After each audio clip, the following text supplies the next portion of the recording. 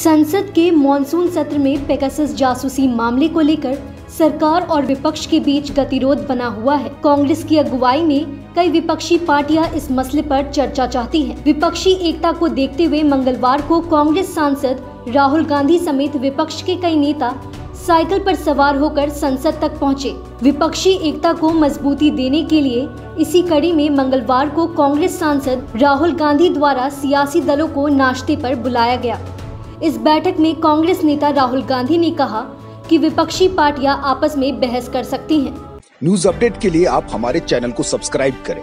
आप हमें फेसबुक और इंस्टाग्राम पर भी फॉलो कर सकते हैं। बने रहे लगातार डॉट इन के साथ।